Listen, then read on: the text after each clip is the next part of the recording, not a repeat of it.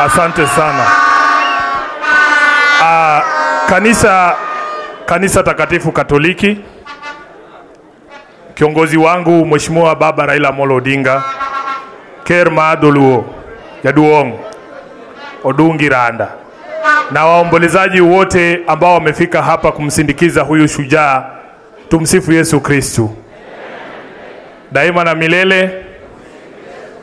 Vile mnavyojua na vile ambavyo Mheshimiwa Edi amewaambia, kwa majina naitwa Edwin Sifuna, katibu mkuu wa chama cha ODM, seneta wa kaunti ya Nairobi na naibu kiranja ya walio wachache ndani ya bunge la Senate katika taifa la Kenya.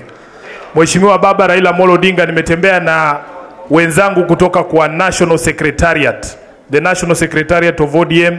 Nataka tu wasimame mjue wako hapa wakiongozwa na executive director wetu Mheshimiwa odoro Ngwen yuko hapa, finance and administration director mtoto wenu wa hapa Migori Mheshimiwa Kawino, alafu oh, unatoka Homa Bay kwa Wanga, uliniambia ni wau?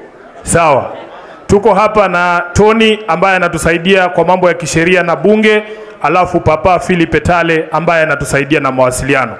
Mheshimiwa Raila Odinga, you know Oh, nimesahau Ben Musungu yuko pale nyuma pia, kiongozi wa vijana. Eh, nimekuona ndugu yangu, wewe anatusaidia wakati wa registration kwa membership. Thank you so much. Your Excellency, you know it has been the honor of my life to serve as, as your SG and as the SG of this great party of ODM. In February of this year, I will be beginning my seventh year as the SG of this party.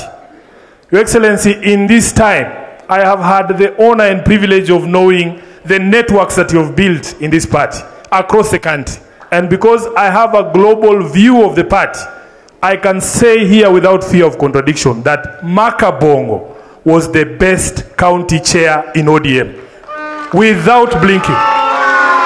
Huyu jamaa baba, tumejuana na mheshimiwa Makabongo wakati niko mwezi kama mbili ama tatu kama katibu mkuu wa chama. Kulitokea hapa by election wakati mheshimiwa Beno Luocha ametuacha na ukanituma hapa tufanye campaign.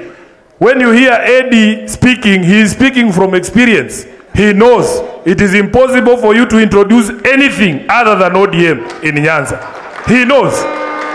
But he is now my friend and is a most staunch supporter of ODM hata kunishinda kwa sababu ya experience. Baba, nilifika hapa nikakutana na huyu mzee Makabongo. Wakati natoka Nairobi wananiambia huko Sifuna Obado atawapiga atawapiga sawa sawa. Nikafika kwa huyu mzee akaniambia akitupiga tutampiga hata yeye. Sifuna usiogope kitu hapa. Wakati ule Ochilo yako ndio candidate wetu Pindra huyu tulikuwa tunatembea na yeye tunazunguka huko kwa vijiji, wanasema hakuna mtu atakuguza Sifuna. Kama kuna mtu alikuwa na heshimu chama na viongozi wa chama ni huyu mzee Makabongo. I used to arrive in Migori, ukishuka gari yako namna hii unakuta chairman wa county ametembea na women leader, ako na youth leader wake, viongozi wa constituency ambaye mko pale, anawa introduce, anasema hawa ndio viongozi wa hii constituency. He had a lot of respect for this party and this man suffered because of his stand. Baba, wakati moja unajua mali ya Makabongo imeharibiwa sana, gari lake hata wakati moja likateketezwa.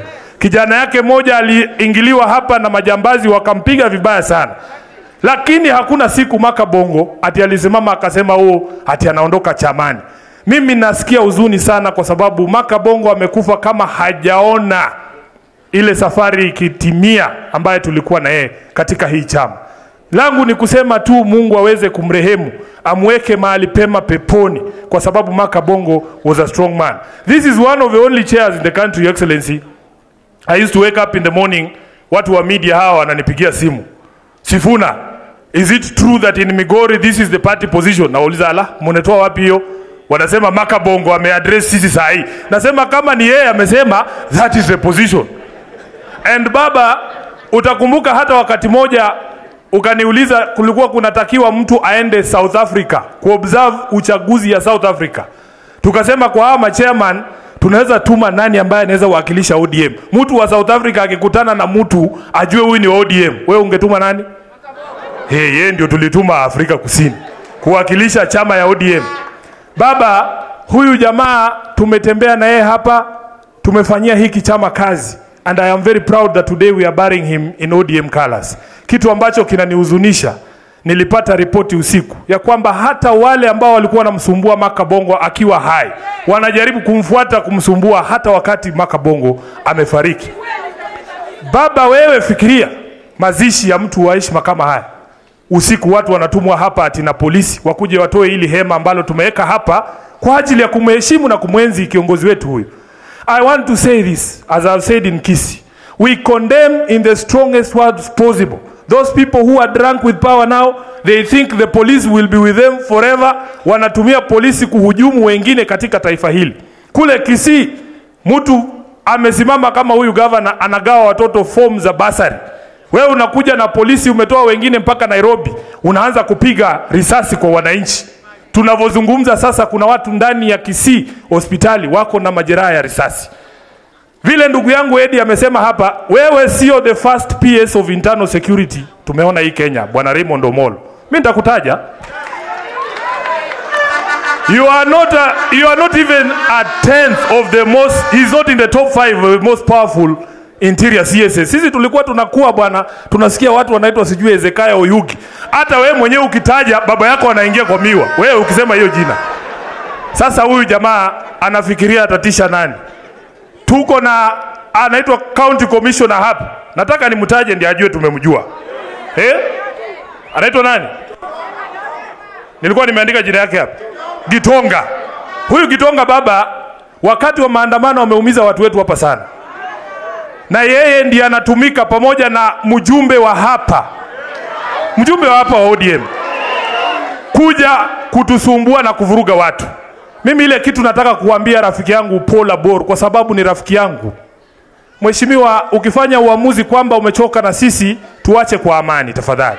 Sisi hatuna ubaya na mtu yoyote, hatuna ubaya na mtu yoyote, lakini kuleta polisi kukuja kuvuruga mazishi kama haya ni kitu ambacho sisi hatutakubali.